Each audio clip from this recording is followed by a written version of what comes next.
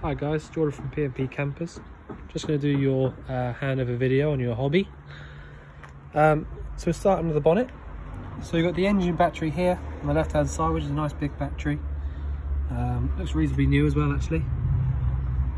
Um, you've got the engine coolant, sits up here. The power steering fluid.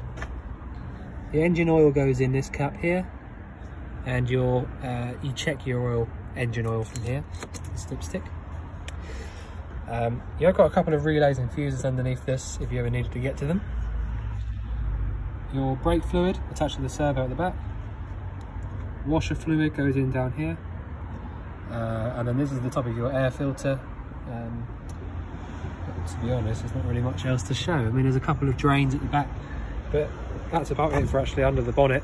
Um, everything looks in nice, good working order actually. Normally these kind of bushes are a bit worn out, but they're all, all good. Uh, so it all looks nice and new actually. Um, so here we've got the uh, diesel cap, so that's just literally putting the ignition key in there, turning it 90 degrees, and then this will turn out as well. And that opens up by pushing on this side. I'll just show you, so left-hand drive, normally the um, uh, bonnet release would be on the other side, obviously under the steering wheel, but it's just here on this one, underneath the steering column. Right, so we start on the uh, driver's side, so the left hand side, near side. We've got the uh, boiler vent here, so if you had your boiler on, then you'd feel hot air coming out through here. Um, you would also feel hot air coming out if you had your heating on as well, um, because it's the same unit. Uh, if you wanted to hook up at a campsite, you hook up just here, plug it in like that. Obviously the hab checks all been done, so that's all been checked. Um, and actually on the hab sheet itself, I have written how many amps each appliance pulls so you can work out what you can have on what you can't at the same time um, i'm not going to try and pronounce that but that's the freshwater inlet um, so if you ever want to you know fill up your freshwater tank that's how you do it and then to lock it push in and round like so and then put that key in turn it 90 degrees again just the same as the diesel cap uh, and then that'll be locked in place. Um, the toilet so that's a fresh water flush so you haven't got to worry about any separate flush area or anything like that. Uh, it's just a case of lifting up on this yellow lever underneath and then pulling towards you and then that's all been lubricated uh, you know the whole seal and stuff. Um, when you do come to emptying it out you should always hold this button down here it's a pressure release valve it lets it all come out a lot, a lot easier um, but that's all been cleaned uh, that's good to go. That's where you put your blue toilet chemical in there. Only about a cap full. And then to lock this one again, just put the key in there. Same again, 90 degrees. And that's that. Um, you've got a little external water point here. Uh, so if you took that cap off then you can use your external point there. Uh, pop that cap back on Pop that in there. Close that up. So the lockers at the back, I don't think there's actually too much to show, if I'm honest. I don't think there's anything to show you in here. It's just basically storage, um, but plenty of it. Uh, so yeah, not much to show you in there. You have got little caps on the top there which hold it, uh, hold the lockers up. Bike rack at the back, nice and simple. Just literally open this up, pull these bits over um, in fact, you can take them off, really. Um, pull them down and then pop your bikes on, grab them from the top with these and pop the uh, actual tyres or the wheels in, grab them with those. And then that's it, that's literally all you need to do to use that. Pop that back up, pop this in. That's nice and secure. Pop that down and that's up, you know, ready for driving there. Um, Again, that's the same same locker there. Let me just have a look under here. So, uh, I should show you down there actually. The the uh, the wastewater does come out underneath here, um, but the actual waste, the tap is there.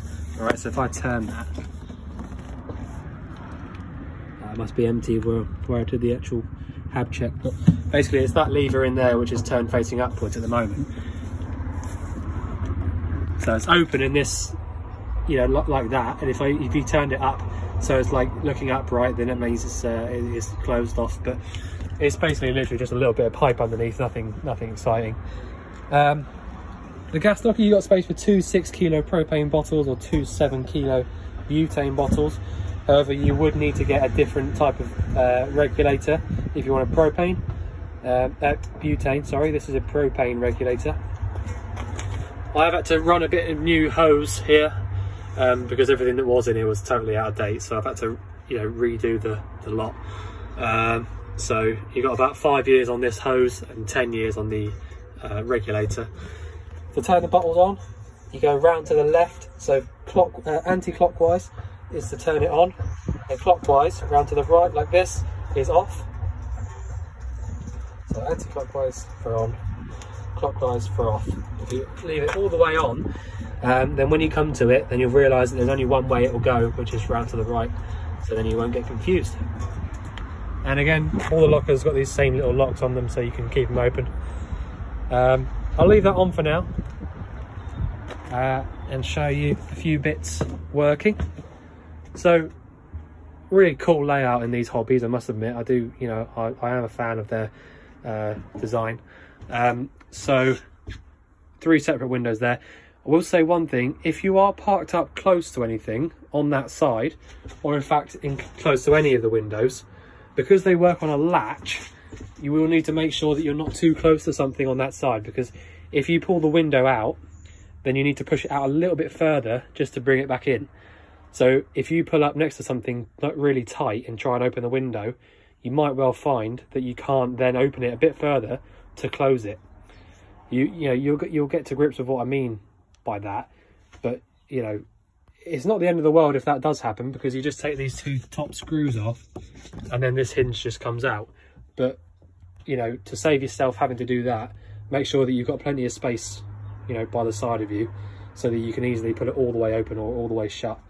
Um, but other than that, you know, they're, they're simple. You know, just just you push them out and then let them drop, and they'll stay out open, open up and close.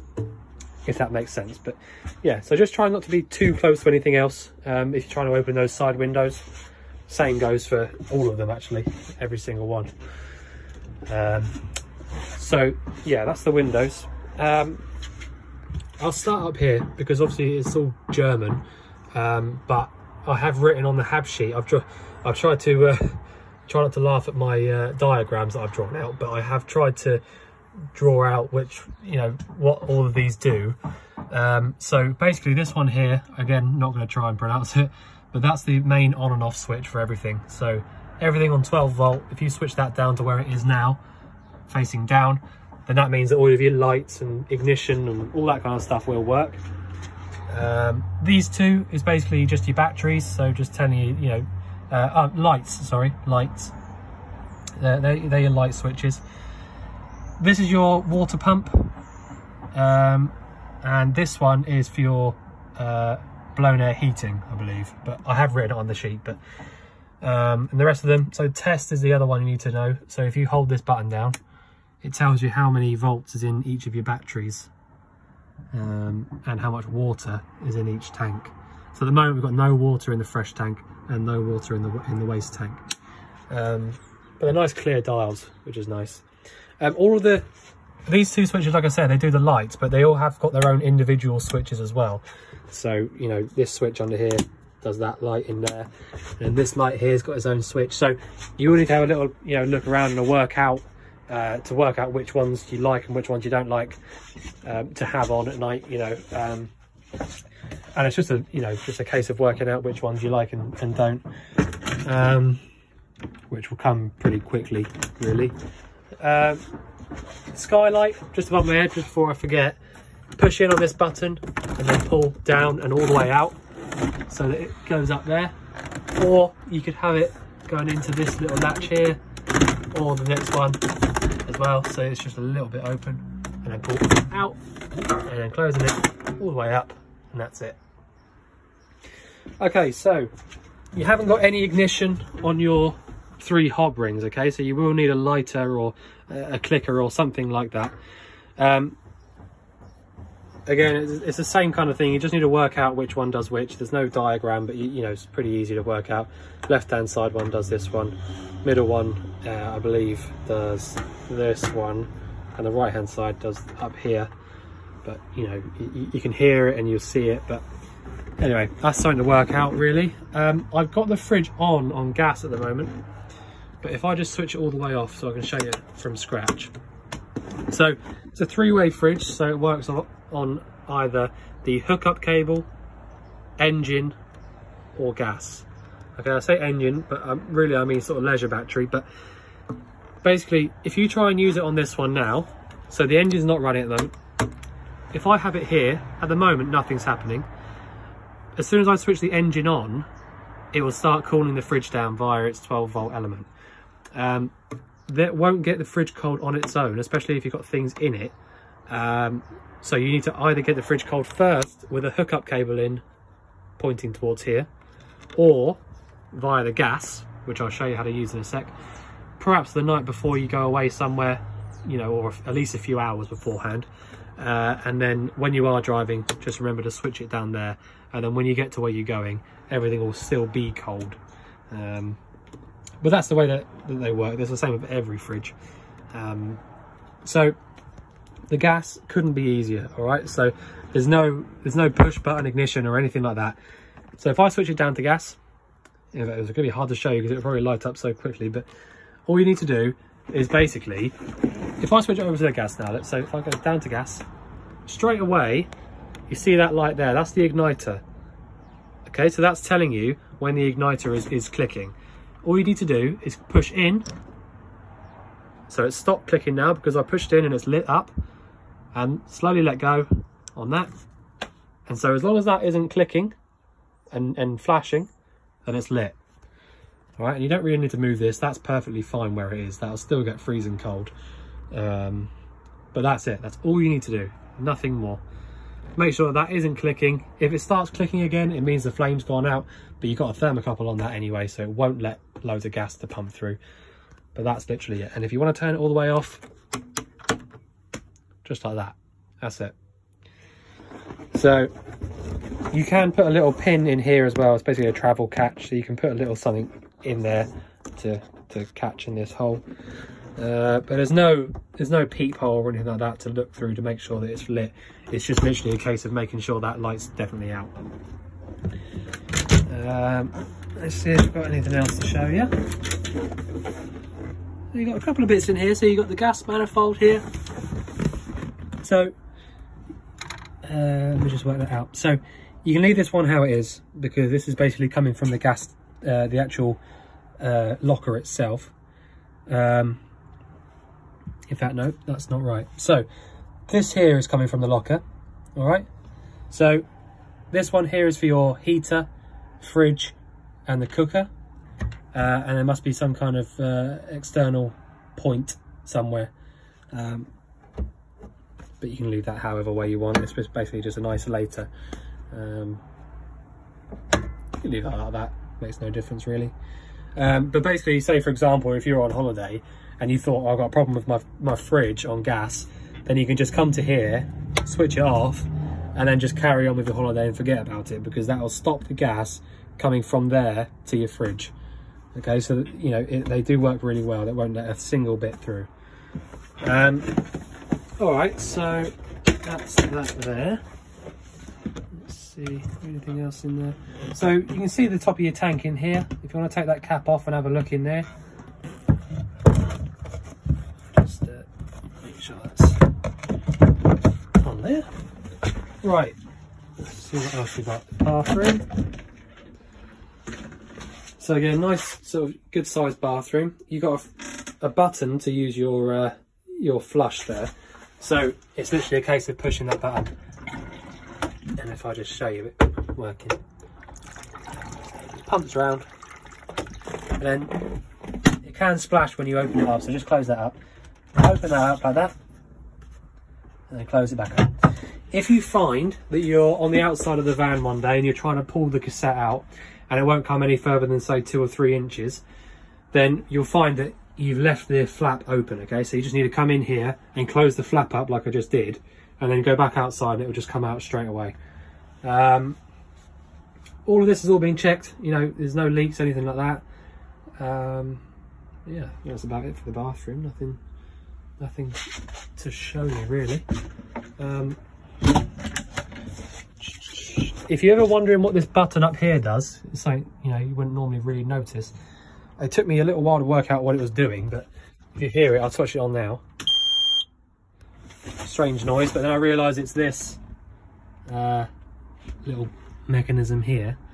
So uh, I don't know. It must be. Uh, if I'm honest, I'm not really sure what that does, but uh, that's what it's wired up to anyway. Magic Safe it says on it, Waeco. Not sure. There'll probably be some paperwork for it. Um, okay, so what else have we got? Oh, okay, there you go. So your heating and hot water is all via this little dial here, Trumatic C. Nice reliable unit. So literally this one on the left hand side, all that does, doesn't actually do anything on its own. All this does is choose how hot you want your water. Whether you want it 40 degrees or 60 degrees, it makes no difference apart from the fact that if you had it at 60, then you could kind of use it as hot water for a bit longer because you'd have more cold water in your feed, you know? So you could have it running on a bit longer, I suppose, and not, you know, have a few more showers out of it rather than 40. But if you just wanted it for sort of washing up and all that kind of thing, then you can just leave it at 40 and it'll get hotter a lot quicker, obviously. Um, so that's all that side does. Uh, this here is a temperature gauge and there'll be a little thermostat placed around the van somewhere, a little black, little tiny black thermostat. Um, so if you, you know, just for example, we leave it to 20 degrees, that's kind of normal, I think. Um, if I flick this down, then actually if I just switch it on up here, hold on, so you got to have this button on. So I'll go back off for a minute then. So if I just go down, you'll see here you've got 60, 40, and this shower means hot water.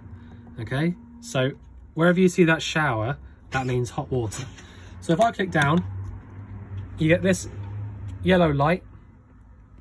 So at the moment, this, this lot's not doing anything, all right? Doesn't make any difference until you go up to the top, which is heating as well. But, so I've gone down at the moment. So I've chosen 40 degrees and I've gone down and that's 60 or 40 hot water. So to 40 degrees hot water and nothing else right now, okay? So it's just lit up now, I've just heard it. So this light will go out when it gets to its temperature as well, uh, but you know, you, you, don't really need to see that. You can you can tell if you if you leave it sort of 15, 20 minutes, it'll be up to its top temperature anyway. Um, and that's all you need to do. And if you want to use your heating, all the way up to the top, and that's when this style here actually comes into its own. Um, and then, you know, that's where it will get to its desired temperature. Um, so yeah, this little button, this little sort of sign there means heating, basically, in the Trumatic world. Um, so yeah, so that's lit up at the moment. Uh, you know, that's all you need to do. This is the temperature, and then this is the temperature of the water. Up is for both, down is for just hot water. And obviously the yeah, the fan for the heating will run on its own. You don't need to do anything else with that. And then back to the middle is all off. It just reminded me when I was um, talking about that. So again, so this one here is for your actual heating and hot water. That's how you need to you need to have this one on like it like it is to be able to use that dial. Um, but before you do that, before you get into the van and start playing around with the, uh, the hot water or the heating, you do need to make sure you've got some water in the boiler. So you need to come to the tap and just pull the cold, wait for the you know the pump to start running. And once you've done that and start getting no sort of like big air bubbles and stuff like that, turn it to your hot and make sure you get the same thing. Uh, just make sure that's all on. So basically all you need to do is just come in here and make sure you don't get any big air bubbles coughing out of the sink. Um, and until you do find, you know, there's no air in the system, that kind of thing, then you'll be good to go to use your uh, heating and hot water and all that. Um, but that's basically, it's like a, a bit of a fail-safe kind of thing because if you if you tried to heat your, your kettle up at home with no water in it, then obviously it's going to go bang. Um, I mean, it's not quite that dramatic with these, but if it did go wrong, then it's you know it's really not cheap to fix them. So if you just come into the van first and make sure that you pull your water through, make sure there's no air in the system, and if you if you want to, like I do, uh, if you want to, you can do it at both taps, both the, the kitchen and the bathroom as well, and actually the toilet because that's off the same system too. So if you just if you're going to be using the van for a little while, you might as well just come in and do that just to make sure there's definitely no air, you know, hanging about. Um, because really, the main reason for that, to be honest, obviously is to keep your boiler safe, but also if you try to use your hot water and there's air in the system, if you have the boiler on, it will, when you go to pull the hot water through the tap, it'll cough and splatter all over the place. It's really not nice when that sort of it hits your hand, that kind of, you know, hot boiling hot water. It's not very nice to uh, have that splashing around. So, uh, yeah, if you just make sure that you do that. Um, and that's really about it. Uh, yeah, so the main things, so if you make sure there's, there's no air in the system for that, make sure that you've, uh, you know, you know where your fridge is, and you know, where it is, and make sure that your gas is all the way on, then uh, really I think it'd be good to go. There's not much else to show you. All the lights really have got their own switches, so you can just work out, uh, you know, work them out for yourself really, you know, which ones you want and which ones you don't want on. Um, but yeah, the hab check's all done. All went through nice and easy. Everything was nice and uh, simple. Um, but yeah, so I don't think there's much else to show you. If I just sit in the cab and make sure when you, um, if I just start it up, I'll just switch all these bits off. Doo -doo -doo. Obviously, when you're driving, you want to turn your gas off before you do it. Um, but just for for show and use sake. Um, so the reversing camera comes on as soon as you start her up. So if I popped it in reverse now, it doesn't really make much difference. You know, it would just stay on. But once you turn the engine off, you don't need to worry about it because if I just show you now, I switched it off, but it does stay on. Uh, I'll do that for probably about, I think it's about 30 seconds or so uh, and then it will switch itself off all right? There's no you don't have to worry about that. Uh, or I have just found this switch down here. So yeah. So if you want to turn it off manually then you can do so from down here. But like I say if you if we just watch this for a sec it should just go off on its own. Because the uh, the power that it's come off is a good one. So when it when the vehicle stays off for a, a certain amount of time it will turn itself off there you go, like that. All right, so you don't have to worry about that button. It will just do its own thing, you know. If, or if you if you're driving, and you think it's putting you off, then you can just switch it off from down there. Um, indicators at the front, and then this is your main main beam. See if I can speak properly. Your main beam uh, for your lights. So yeah, so uh, indicating at the front, and then wipers on the right hand side but yeah, I've actually driven this van myself and it drives absolutely perfect, really nice. Um, yeah, there's no knocks or bangs or anything, so it's uh, a nice solid van. And if I'm honest with you, these hobbies are brilliant. Uh, you know, so sort of rugged and ready to go for whatever you want to do. Uh, great for wild camping as well. So, um, yeah, so I think I've covered everything. And if you think I've missed anything out, then obviously let us know. Uh, but we look forward to seeing you soon for you to collect your van. Thanks very much.